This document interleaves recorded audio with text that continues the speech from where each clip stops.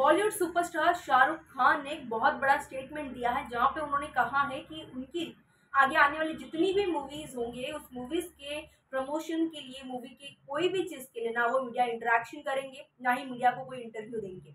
आपको मैं बता दूँ कि उनकी इसी साल की शुरुआती में मूवी रिलीज़ हुआ था पठान, और उस दौरान भी उन्होंने कोई मीडिया इंटरेक्शन या कोई मीडिया इंटरव्यू नहीं दिया था। हाँ हालाँकि दीपिका और जॉन अब्राहिम ने दिया है, लेकिन शाहरुख खान सिर्फ़ लॉन्चिंग के वक्त प्रेजेंट थे तभी मीडिया से सिर्फ़ ऐसे आप कह सकते हो नॉर्मल हाय हेलो किए थे बट किसी को कोई इंटरव्यू नहीं दिया था मूवी के रिगार्डिंग और आगे भी उनका यही प्लान है कि कोई भी मीडिया को इंटरव्यू या इंटरेक्शन नहीं करने वाले जब मूवी रिलीज़ होगी, मीडिया को खुद से पता चले, लेकिन वो उन्हें किसी भी चीज़ में इन्वाइट और इंटरेक्शन नहीं करना चाहते हैं।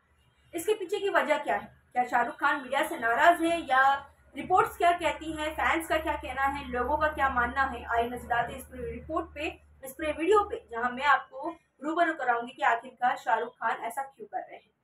So hello and welcome to FIFA फूस मैं हूँ आपके साथ, आपकी दोस्त और इस शो की होस्ट दीप्ति विश्वास आपको बता दूँ कि शाहरुख खान, में भी ये रिपोर्ट सामने आ रहा है कि शाहरुख खान, जिस वे से इनके बेटे आर्यन खान को ड्रग्स केस के टाइम पे मीडिया ने जिस वे से इस न्यूज़ को कवर किया, जिस वे से इनके ऊपर एलिगेशन लगाए थे, कुछ पोर्टल्स ऐसे थे जो आर्यन खान के सपोर्ट में थे, कुछ पोर्टल्स ऐसे थे जिन्होंने ये कहा था कि शाहरुख खान के पास पैसे हैं, पैसे दे के उन्हें छुड़वा सकते हैं।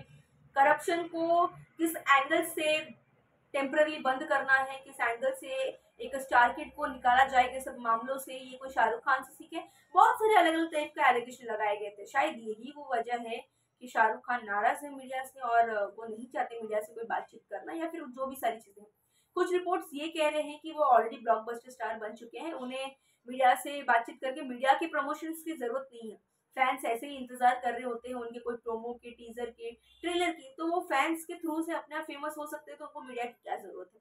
अब ये बात तो सामने नहीं आ पा रहा है कि आखिरकार इसके पीछे की रीजन क्या है। लेकिन जितना रिपोर्ट्स के थ्रू से पता चल रहा है रिपोर्ट्स की माने तो यही बताया जा रहा है कि शाहरुख खान खफा है मीडिया से, क्योंकि जिस वजह से इनके बेटे की न्यूज़ को छापा गया है और उसको कवर किया गया था वो उस अंदाज से शाहरुख खान बिल्कुल भी खुश नहीं है।